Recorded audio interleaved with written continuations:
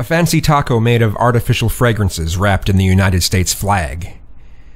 In the blink of an eye, Jesus gets off his cross and fucks Pat Robertson in the ass and tells him what a lousy cosplayer he is, which leaves a coating of Santorum all over the continuation of the Bush dynasty. There is something very wrong with the seasonings used to towel dry the emancipation of faux truths and misinformed ventriloquists parroting the sounds of that White House filled with aging old white farts. There is nothing left to chew on. The echoes of a fake past resound loudly in the future of our manufactured ignorance. So crush my heart and crush my bones and deliver them to Mother Jones, for there's nothing like a bleeding heart with a side order of fries to entertain the ones with wool pulled over their eyes.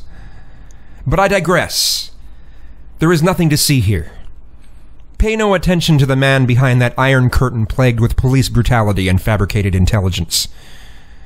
There is no Jersey Shore or Kardashian attack on the Romulans that were ever good enough to be a good day to kill silent but deadly impoverished minds that feed on the entrails of the entertainment industry.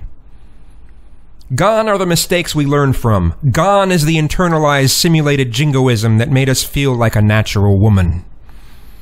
You think we're strong? Wait until we walk on the carpetacks of the beautiful lawns of corporate culture.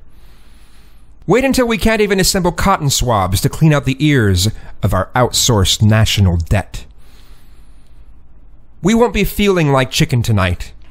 We won't be applying anything directly to the forehead.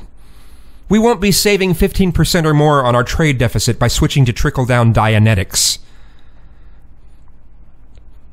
The benefit is the cost, the debt is the value, and the teetering seesaw we sternly press our daily bread into will become the white paste that sticks to the roof of our mouths when hydrated with carelessness.